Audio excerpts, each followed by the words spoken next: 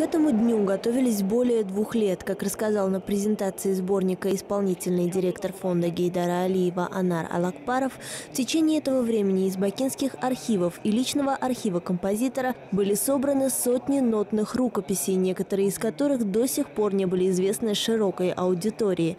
Проект был осуществлен по инициативе первого вице-президента Азербайджанской республики Махрибан Алиевой. Более 200 произведений композитора были собраны в четырехтомник сочинений сочинений, куда вошли эстрадные песни, музыка к фильмам, а также сочинения для фортепиано и симфонического оркестра. В сборник также вошли аудионоситель и книга-альбом о жизни Тофика Кулиева. Этот выдающийся композитор, который воспевал в своей музыке, в своих мелодиях Баку, Азербайджан, и он по сей день востребован, его музыка по сей день э, востребован. Люди хотят слышать вот именно эту, такую музыку. Тофик Аликперович, он был не только прекрасным композитором, он был замечательным человеком.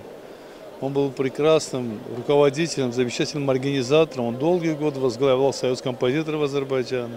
Произведения выдающегося композитора прозвучали в рамках концерта, посвященного столетию со дня рождения Тофика Кулиева. Мероприятие организовано фондом Гейдара Алиева в соответствии с распоряжением президента Азербайджанской республики Ильхама Алиева. В юбилейном вечере приняла участие вице-президент фонда Лейла Алиева. Открывая вечер, перед зрителями выступили сын выдающегося композитора, кинорежиссер Эльдар Кулиев и художественный руководитель концерта, дочь юбиляра Лала Кулиева.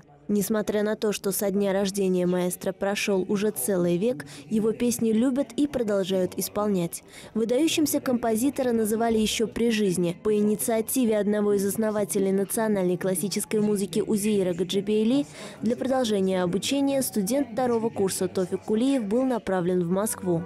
Уже в 22 года вместе с дирижером и композитором Ниязи Тофик Кулиев создает первый в Азербайджане джазовый и эстрадный оркестр. В годы Второй мировой войны эстрадный оркестр под управлением Тофика Кулиева вошел в 402-ю стрелковую дивизию. В исполнении оркестра звучали как патриотические композиции самого молодого композитора Тофика Кулиева, так и его талантливые аранжировки народных песен.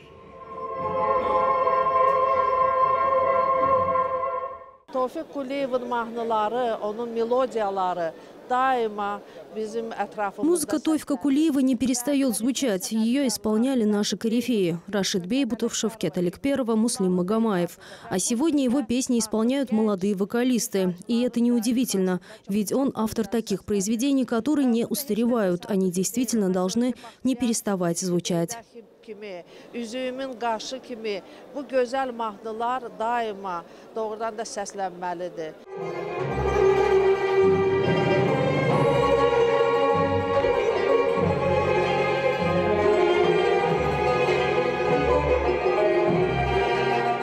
народной музыки занимала особое место в творчестве Тофика Кулиева.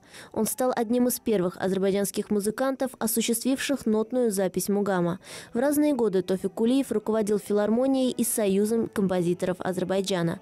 В 1998 году за особые заслуги перед государством и народом Азербайджанской республики Тофик Кулиев был награжден орденом Истеглал. Находящемуся на лечении в больнице композитору тогда этот орден вручил лично общенациональный национальный азербайджанского народа Гейдар Алиев. Творчество Тофика Кулиева не перестает быть популярным. Звучат записи его песен, его произведения исполняют и молодые вокалисты. Музыканты уверены, все дело в неповторимом творческом даровании, а значит сочинения Тофика Кулиева не перестанут звучать и через сто лет. Лейла Курбанова, Ферус Рагимов, CBC.